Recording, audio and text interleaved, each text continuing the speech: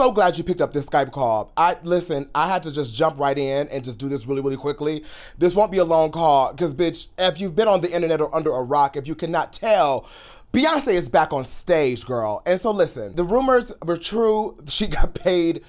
Well, they said I think 34. I be seeing 34 million. I see 24 million. I don't know which one it is. I'm gonna go with the most. I see 34 million. I feel like whoever was at the hotel, they said, you know what?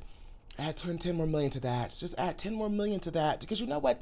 She didn't have to come and sing like that. And if you're like me, or if you're like everybody else on the internet right now, can you not get that run out your mind? I can't get that run out my mind for nothing. I am slaved to that damn run. I mean, like everywhere I go, it could go to the gym, I could be cleaning up the house, I could be just going to take a shit. And yet somehow, some way,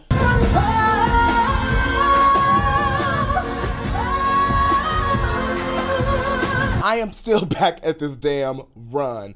Beyonce, how do you have just point me in the direction of an artist that can have a run, not a song, not a sound, not a not a little trendy little sound, a run of a existing song that's maybe what 2013, almost 10 years old, be so legendary. How like and a music arrangement be so legendary? So th- the reason why I hop on the Skype call, right? This is really for my beehive and everybody else that love Beyonce, but I want to hop on this call because it's been a lot of debacle about my bitch singing. Or even just this concert in general, right? There's been talk. There've been talks. So let's have a conversation, you know? So people have been coming on the internet, as you know, everybody got an opinion like on the internet. And some people have been challenging my girl, but in the sense of like, why would you perform over there? They don't like gays over there. You just had this whole Renaissance situation. That's why they should perform nothing from Renaissance. Let me tell you something. Clearly, like clear as day, and they never shied away from in the Middle East, you know, the gays and things like that. It's just not a, it's, it's, it's, it's very taboo over there, and it's still a, a problem, and it's still unaccepted over there. Which also, and the same breath of this, there were gays that went to this, by the way. There was people of our girls that were in the crowd. They were invited. But that's not the problem. That's not that Beyonce doesn't support the gays and she's just using them. Because some girls had the, uh, the nerve, the outrage, and selective outrage of it all. No shade. The girls want to find something wrong when they got to find something wrong when it ain't really nothing wrong. But it's funny to me because in my mind, I feel like Beyonce gets this flack every time she steps out. And I can kind of see why she's so private honestly, I can kind of see why she plays, you know, being behind the scenes a little bit. Like, I don't want to be too much on the scene because y'all got something to say, even down to her singing live. Oh, yes. Oh, yes. Some of you girls in the back, some of the haters in the back have something to say about my girl singing. And that, that clip that is going viral of her doing that last run was live or not. Let me tell you something. Regardless of how you feel, if it's even if my mama's was uh, lip syncing, because no shade, nobody can do it, nobody can pre-record, nobody has the vocals like my girl. In my mind, you can say what you want, but that's how I feel. So let's hypothetical. Let's play devil's advocate, right? If she was, you know, if it was a lipped moment, regardless of the fact, she had to still do that note. She would still have to pre-record it. You have to see what I'm saying. The thing is, I know some of you faves out there. I'm not gonna call y'all out but some of y'all out there like, you know, they use pre-records too, which also I made a video about this. Pre-records is not a problem. No shade. It's a lot of benefits to it. It protects your voice. If you're on tour, it makes sure you are not tired vocally. It also can make sure your show runs smoothly. And if you're a perfectionist a little bit, you can make sure every time you hit that stage at that one specific part is going to hit because it may be vocal vocally demanding. And then you got people like my girl Gaga who can do every single show, no lip, no pre-record, a little bit of backtracking because they like that authenticity. They like the cracking. They like uh, the out of breathness. Uh, Gaga loves the the imperfection of live. That's what a live performance in some cases are about. And some artists love that unpredictability of being live, right? But my baby sung live in Dubai, and her band, some people in the band had to even, it's ridiculous that some people from the band had to come out and say, no, baby, that was live. Even down to when she did, um, to uh, be alive for was at the Oscars, I believe, last year. Oh my gosh, she's lip syncing, she lip syncing, she lip syncing. Girl, and everybody like, no, baby, that baby was singing live. What y'all talking about? What are y'all doing? But it's funny how people can still try to discredit Beyonce after all these years. And I'm not saying that because I'm a stan. I well, I am. I got a chip on my shoulder because I am a stan. But you know, I'm here I am. Yes. Well, I have something to say. I'm not saying this solely because I'm a stan, but I'm saying this from the perspective of just how the entertainment business is going in general. Mediocrity is so praised, and no shade, no shade, no shade. Some of y'all faves is mediocre, but for some reason, when my girl comes out and make it all about her and could go viral for just singing a tune, another musical arrangement of the same song, and go viral for it, y'all don't live for that. Y'all, the girls like to challenge that. But let it be somebody else and let them be white. No shade. Let them be white. Oh, she's just expressing herself. It's just, it is what it is. No shade. I can't stand it. I, it's, it's, it kind of goes to show how much, how hard even Beyonce as a black entertainer has to work. I remember this brings me all the way back to the Super Bowl when uh, she did the inaugurational uh, singing for Obama and she pre-recorded it and everybody was like, oh my God, Beyonce, I told y'all she can't sing. And baby said, but it was cold outside and I wasn't want to risk it. I didn't want to risk messing it up about and making the moment about me. It is about the president.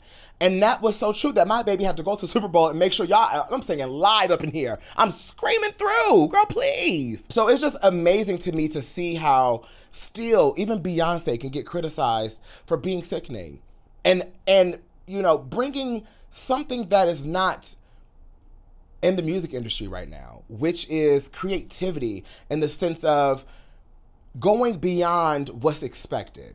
You know what I mean? And making moments. The thing is, we've lost that in the music industry. And I think because of that, Beyonce gets this like backlash of, oh, y'all thought that was cute. I guess she's faking it. It couldn't be that. And I'm like, how are you hating? If you got a problem with her, you must be crazy. But you can't sit up here and praise somebody that's up here barely singing a, a, a, in, in, in pitchy and can't hold a tune. It's not cute. It's not cute. It's not cute. I don't like it. And then baby brought up my girl feet, my girl shoes, my girl heel was about this big. Yes. And, and but for the first time ever, right? My girl ain't never you ain't never seen my girl in a shorter pump. My girl, I remember Beyonce used to pump to the in, in, the streets, normal streets, going to a to the studio, whatever, and an 11 inch boot this big, girl a fool. And I used to be like, I don't know how you doing it. But uh, I guess allegedly my girl had foot surgery, which I don't know how some of y'all found out. That's how did y'all find that out? Is that is that true? Is that true? Guess, if it's true, if it is, I don't know. My baby had to be sensible and sensible hill, girl. Doctor's orders. that brings me back to my point of how, as a black artist, and especially a black woman, you have to work so hard to validate and prove how sickening you are and how talented you are, with people still having to find something about it. Well, you point me in the direction of a fave getting paid 24 to 34 million dollars for one hour performance for a one-time situation. When you let me know your fave can do that, then we can have a conversation. But until then, I am standing behind the greatest entertainer alive, past and present. You can fight me in the comments if you would like, but I said what I said. She is the greatest. Nobody's done it like this. Say what you want. And it's a black woman. And I know that makes some of y'all mad in the back. Mm. I just wanted to know if you guys are gagging and watching old footage of Beyonce like me. Because let me tell you something. I don't know if y'all like me, but I like, I have to watch this performance from Dubai, but like then also go back and watch like uh, Beachella and then go back and watch like I Am Sasha Fierce tour and then gotta go watch clips of Formation World Tour. Because let me tell you something. I like to find the progression of like how my favorite songs turned out. Like Crazy in Love is different. and then the, I could I forget about this. The uh boy, boy, boy, boy, boy. That countdown intro, girl, just just. Hold up. I also need to talk about my girl Blue Ivy doing the lean with it, rock with it. And Beyonce had to be like, no, mommy, calm down. Calm down to all that. This is still my show. I'm just kidding. she, I just, I just love the mommy and daughter dynamic that Blue and Beyonce have. It's so beautiful to see, and so beautiful to like see Beyonce just be a mom and be a mother, not only to the Beehive and to the rest of the music industry, but to Blue and Rumi and Sir, and to Jay Z on certain nights. You know.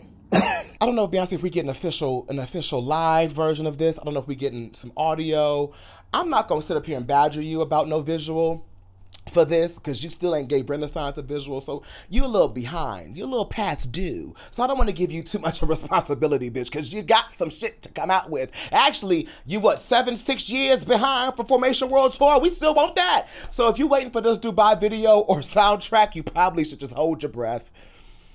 Don't hold it too long. You may pass out because you know how Beyonce is. She and, and the thing is, she's selfish, girl. She'll look up there and she'll look at, watch the video back. She'll be like, at home. Mm-hmm. I ate that. That looks sickening here. Oh, I'll put it in the vault. we wanted it. What happened? Can we have it? Mm, no. That's literally B. She'll. I feel like in my mind, hypothetically, a girl be at home. Hmm. This is really nice. We ate that.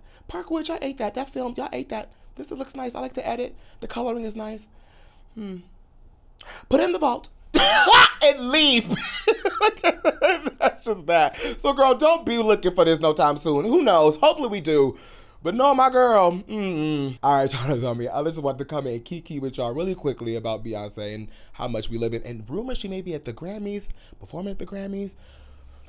A girl can dream. If we can get a renaissance moment at the Grammys, oh, that would make my whole entire year already. Huh.